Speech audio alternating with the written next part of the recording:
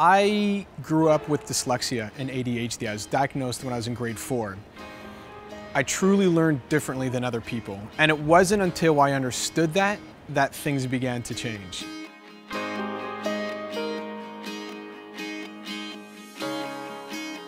What we do at LearnStyle is we customize our training to all different types of learners.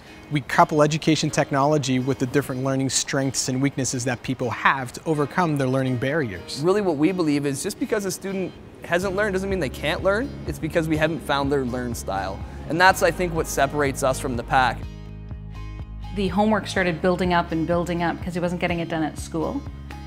And despite the hours that we spent sitting with him at the table, we just couldn't figure out a simple, easy way to help him. And I think for him, that was another fail. They would come into the class and they would just say, What's the point? As a parent, that was gut wrenching for me.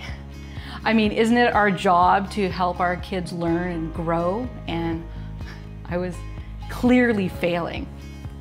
I think the thing that makes LearnStyle's philosophy so inspiring is the weight we put on relationships and how important it is to cultivate a relationship with a student. We build a friendship, we build mutual respect between me, the student, and the equipment that we're working with.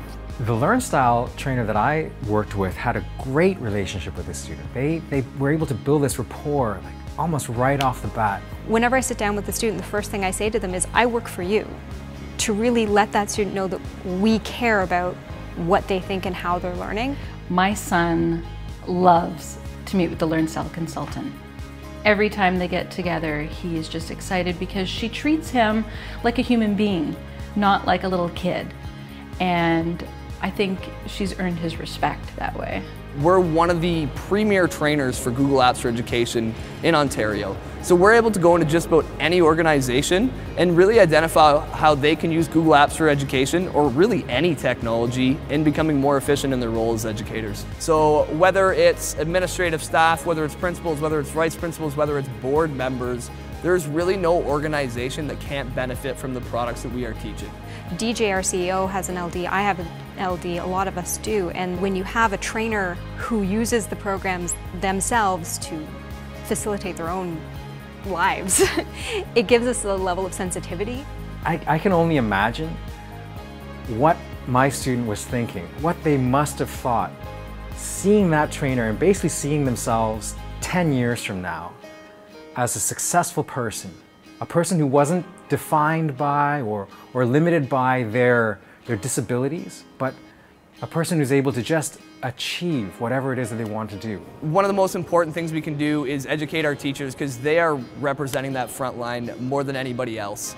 I never understood the impact that assistive technology could have for a student, but now that I've seen it and its ability to, to draw out success it's definitely going to be a part of my teaching practices moving forward.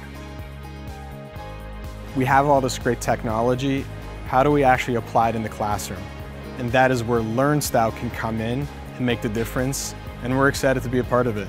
I have seen firsthand how assistive technology has helped raise my son's grades and has helped raise his self-esteem.